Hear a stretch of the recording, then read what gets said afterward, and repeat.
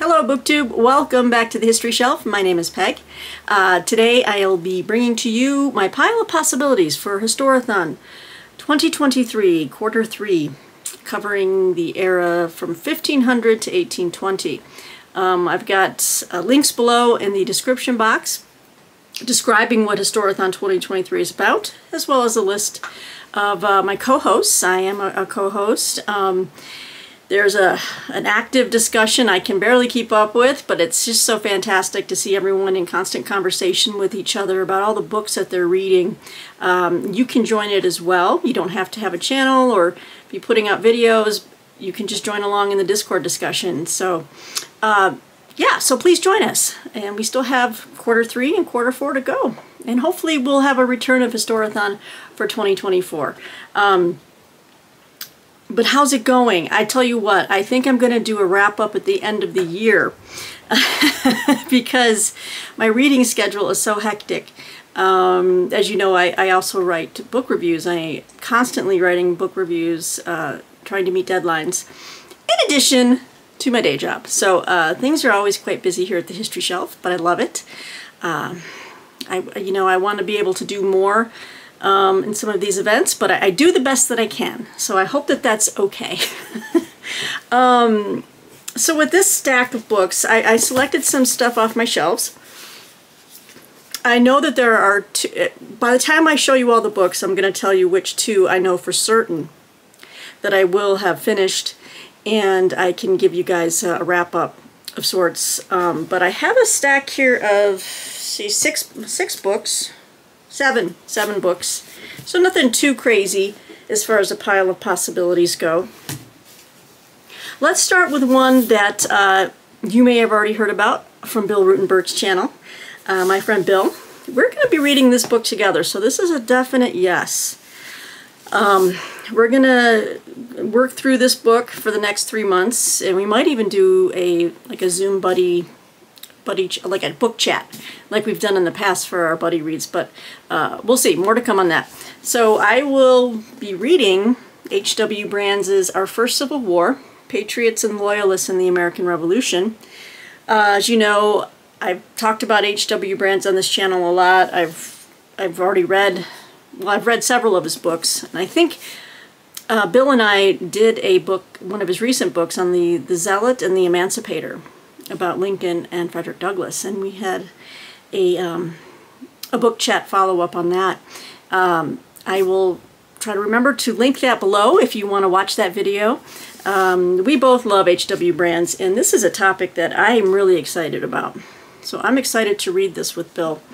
Um, because when you think about it, uh, I'm trying to think of what triggered something recent in my memory where I read something. Yes, it's coming to me now. Yes, I just finished reading, well, not finished, but not just finished. I did finish it, but it was a couple of months ago. Um, and I reviewed it for shelf awareness, but there's a new book out right now called, um, now I'm blanking, but it was like about George Washington's family, his, his adopted um, uh, stepchildren, and um, and it kind of went into the family of of uh, the Custises, right? Um, Martha Martha Custis Washington's children and their grandchildren, and um, and it kind of goes into while George Washington was alive, you know, people were really split uh, along different lines of thought. Um, some some kind of wanted to keel back towards Great Britain. Others wanted to kind of cleave the way of, um, you know, France, like with Jefferson. So there was a lot of political differences that kind of stemmed from that time. But uh, so when I saw this, I was like, this is a perfect selection for Historathon Quarter 3. It says here, what causes people to forsake their country and take up arms against it? What prompts their neighbors, hardly distinguishable in station or success, to defend that country against the rebels? That is the question H.W. Brands answers in his powerful history of the American Revolution. George Washington and Benjamin Franklin were the unlikeliest of rebels. Washington in the 1770s stood at the apex of Virginia society. Franklin was more successful still, having risen from humble origins to world fame. John Adams might have seemed a more obvious candidate for rebellion, being of cantankerous temperament. Even so, he revered the law. Yet all three men became rebels against the British Empire that fostered their success. Others in the same circle of family and friends chose differently. William Franklin might have been expected to join his father Benjamin in rebellion, but remained loyal to the British. So did Thomas Hutchinson, uh, a royal governor and friend of the Franklins, and Joseph Galloway, an early challenger to the crown. They soon heard themselves denounced as traitors for not having betrayed the country where they grew up. Native Americans and the enslaved were also forced to choose sides as civil war broke out around them. Just trying to keep an eye on Roxy. After the Revolution, the Patriots were cast as heroes and founding fathers, while the loyalists, were relegated to bit parts best forgotten. Uh, our first Civil War reminds us that that before America could win its revolution against Britain, the Patriots had to win a bitter civil war against family, neighbors, and friends. And here's our author, Mr. H.W. Brands. So, very much looking forward to reading this in quarter three. Wow, we just got a downpour of rain here. We've had some crazy weather here. Our 4th of July yesterday was completely um, storming, lightning, thunder, downpours of rain. Did not stop the fireworks. People were shooting stuff off in a downpour. Uh, it amazed me that you could still see all the uh, the fireworks popping up, and they were going for two and a half hours. I swear, these people are hardcore out here in the country. you know, it, and we're talking loud, booming fireworks, so crazy. Um, the next one I picked up as an option, as a pile, part of my pile of possibilities, kind of fits in with the time of the American Revolution, is A Crisis of Peace. Ooh, sorry for the reflection there. A Crisis of Peace, George Washington, the Newburgh Conspiracy, and the Fate of the American Revolution. Let me just turn that off. There we go. So you just see the light and not my computer screen. And this is by David Head. Um, I actually uh, um, had a brief exchange with him on Twitter. Wanted to possibly interview him as well. That still might be a possibility. Um, but anyway, Roxy is being a curmudgeon. She's gonna do making her sounds. Um, this is the dramatic story of George Washington's first crisis of the fledgling republic. In the war's waning days, the American Revolution neared collapse when Washington's senior officers were rumored to approach the edge of mutiny.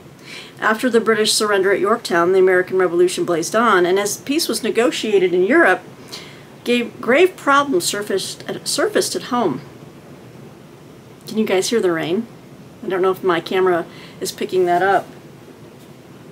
We have just just been deluged with rain lately. Um, the government was broke and paid its debts with loans from France. Political rival rivalry among the states paralyzed Congress.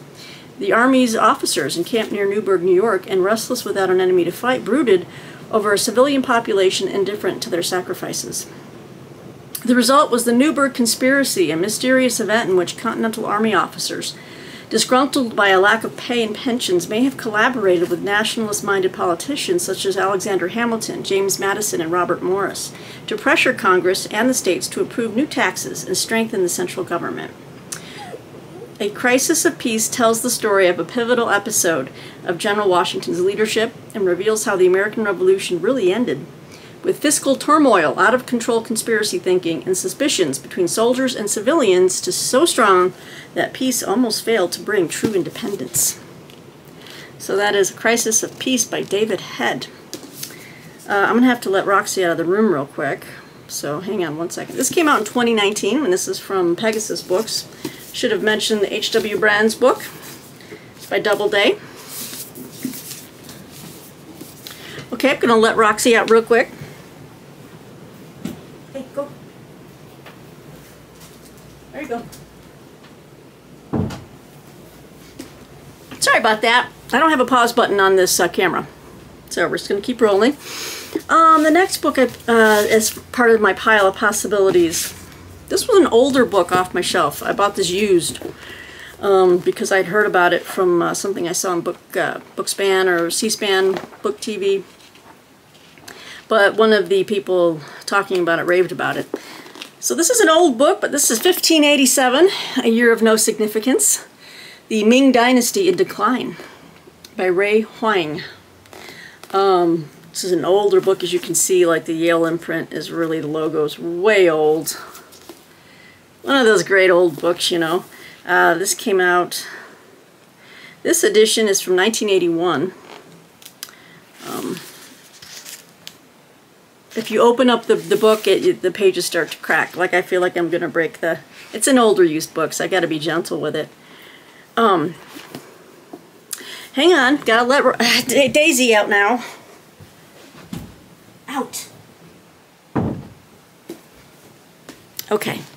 They have been just fit to be tied with this weather. It's been hard getting them exercised and so they're kind of a handful right now. Um, it says here, because this is an older book, so there's not a, a proper blurb on the back, but I remember from the book TV thing that the guy was like, this is a fantastic account. Um, and I think one of the reviews here says, uh,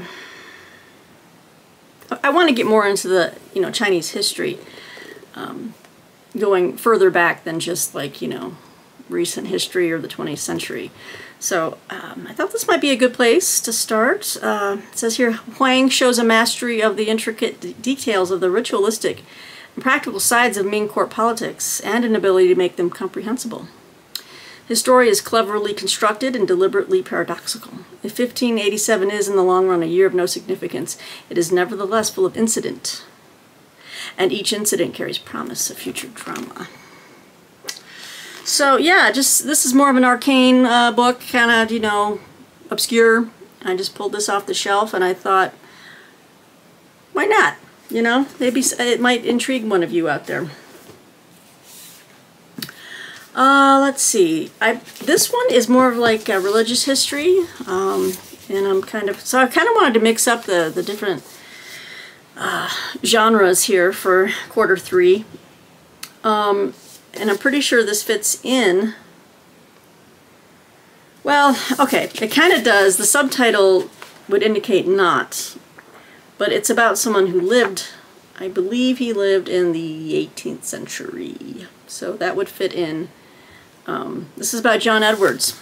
Uh, this is from InterVarsity Press. This is a brand new book out right now called An Infinite Fountain of Light. Jonathan Edwards for the 21st Century by George Marsden. So a brand new book out by, from uh, InterVarsity Press, one of my favorite uh, Christian publishers. Uh, just wonderful academic titles, the, the, theology, apologetics, commentaries, hermeneutics, things like that. Um, but this is a nice thin little volume. I, you know, I could probably squeeze this one in along with the other two that I'm, I'm committed to. But it says Christians need to pause once in a while to get their bearings for perspective on our own times and how we got here. It helps to listen to wise guides from other eras. In An Infinite Fountain of Light, the renowned American historian George Marsden illuminates the landscape with wisdom from one such mentor, Jonathan Edwards. Drawing on his deep expertise in Edwards and American culture, Marsden explains where Edwards stood within his historical context and sets forth key points of his complex thought. By also considering Benjamin Franklin and George Whitefield, two of Edwards's most influential contemporaries, Marsden unpacks the competing cultural and religious impulses that have shaped our times. In contrast, Edwards offered us an exhilarating view of the centrality of God's beauty and love. Christians' love for God, he taught, can be the guiding love of our lives, opening us, up, opening us to transformative joy and orienting all our lesser loves.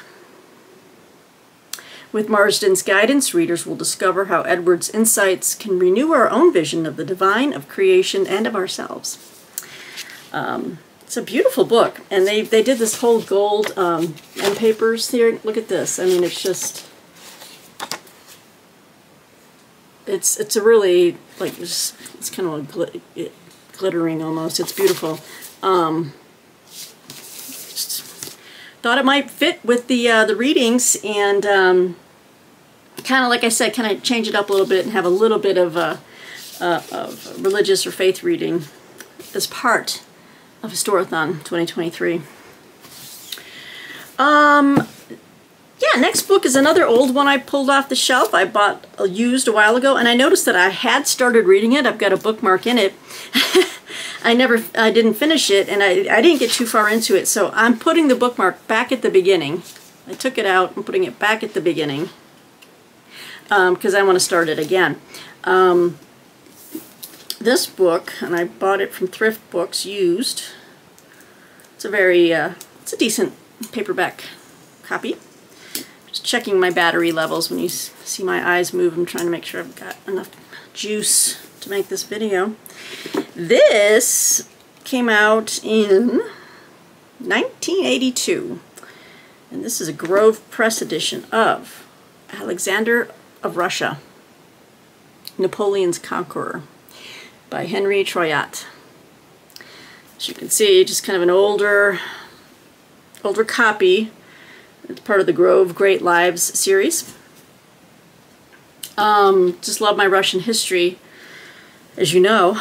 Um, so it says here, in Paris and London, the crowds hailed him as the man who had conquered Napoleon, the liberator of Europe and a benevolent, enlightened monarch.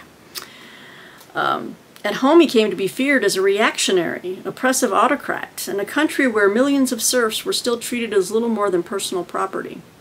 A grandson of Catherine the Great, a conspirator in the assassination of his own father, and an idealistic and ineffective participant at the Congress of Vienna, Alexander was torn all his life between his liberal illusions and the hard realities of autocratic Russia. In a brilliant biography of one of the most unorthodox of Russia's czars, Henry Troyat delivers a masterful portrait of Europe during a momentous period in its modern history. So that kind of sounds good, doesn't it? I think so. Um, weighs in about, about 300 pages. But, um, yeah, there's, there's our guy. A little close up there. There you go. Now it focuses. So another um, possibility for Q3. Um, another one that is a possibility I got recently, and I um, I believe I've already shown it on, no I haven't. This was going to be part of my new History on the Horizon, which I need to film this week. I've got a bunch of new titles here, uh, new or upcoming titles, so they are either hot off the press or about to be. Um, but this is part of it. So you're going to see it twice because I'm going to include it in the New History on the Horizon. But this is from Oxford University Press. Um, pretty sure, yep, came out this year. Another a topic that fascinates me. This is Conquistadors and Aztecs. Let me pull that back so you can see the whole thing. A history of the fall of Tenochtitlan. Tenochtitlan. If anyone knows how to pronounce it, let me know. Tenoch. Tenochtitlan. anyway, Conquistadors and Aztecs, and this is by Stefan Rink. It's not too thick of a book, as you can see. Um,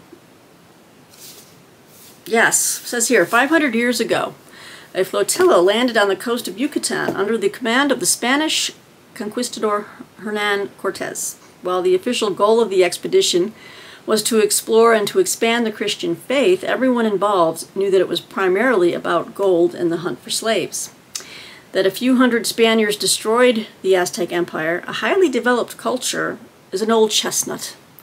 Martine says that a lot. That old chestnut. so funny. Right. Uh, so it's an old chestnut because the conquistadors, who had every means to make a profit, did not succeed alone.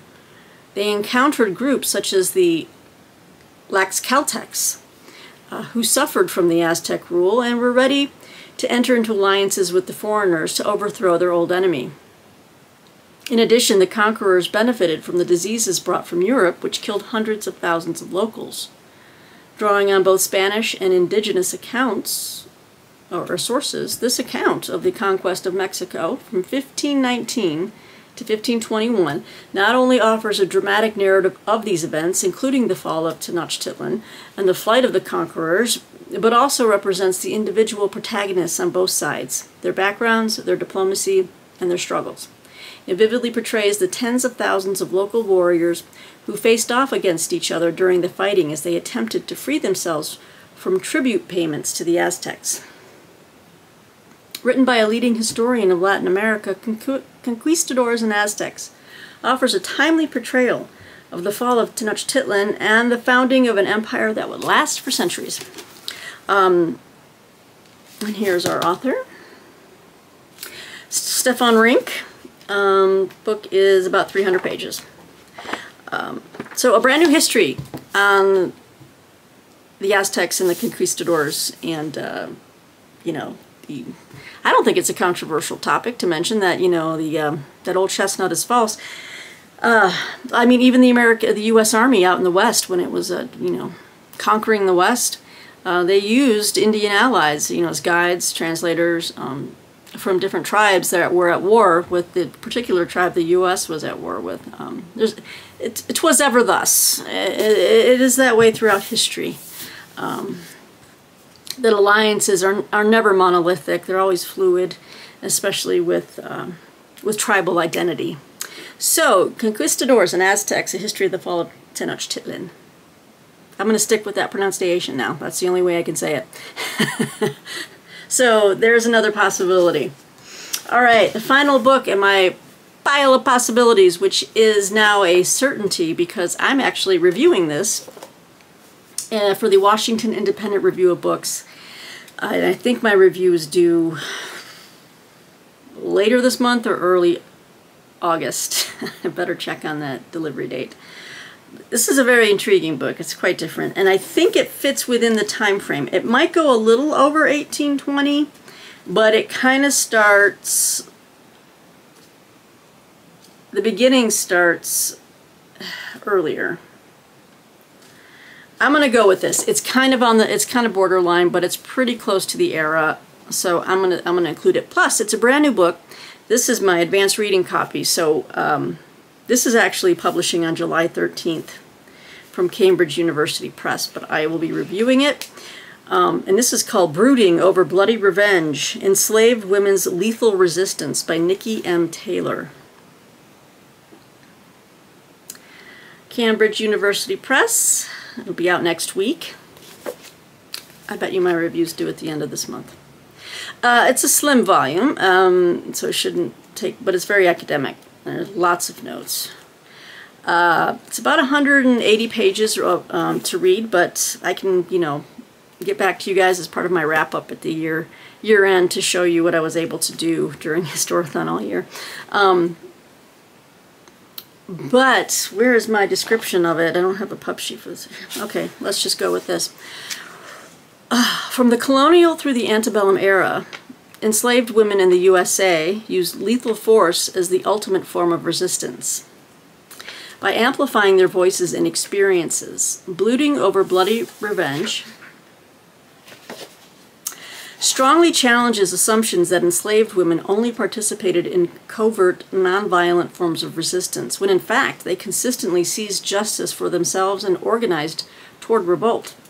Nikki M. Taylor expertly reveals how women killed for deeply personal instances of injustice committed by their owners. There's, the stories presented, which span centuries and legal contexts, demonstrate that these acts of lethal force were carefully premeditated.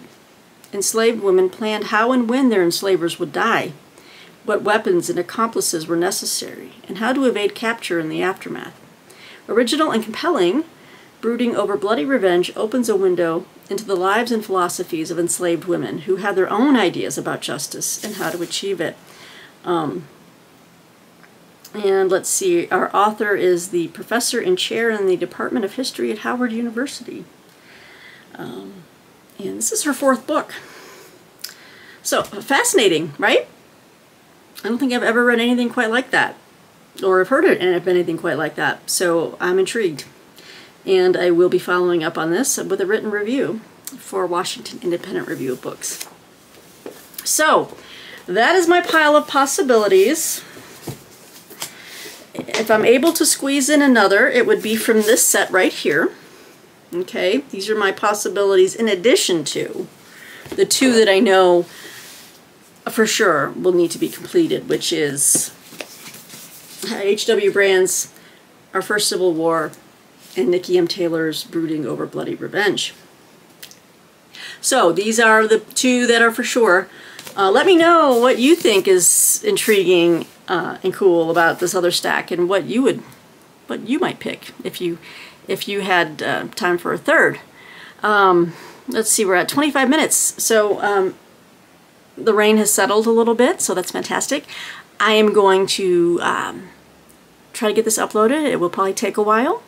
So this probably won't be posted until late this evening, 8 or 9 o'clock. It just takes forever to upload. Um, so the shorter I keep this, the faster it'll go up. Let me know in the comments below, again, what you think of these selections, any random thoughts. Always happy to hear from you guys. Please join us in the Discord discussion. Um, I think we have instructions on how to do that, so let me see if I can put that in there. Uh, anyway, guys, it was great to talk with you again. I look forward to hearing from you. Thanks for tuning in. Thanks for subscribing and watching the History Shelf. And as always, I am your host, Peg. Until next time, ciao.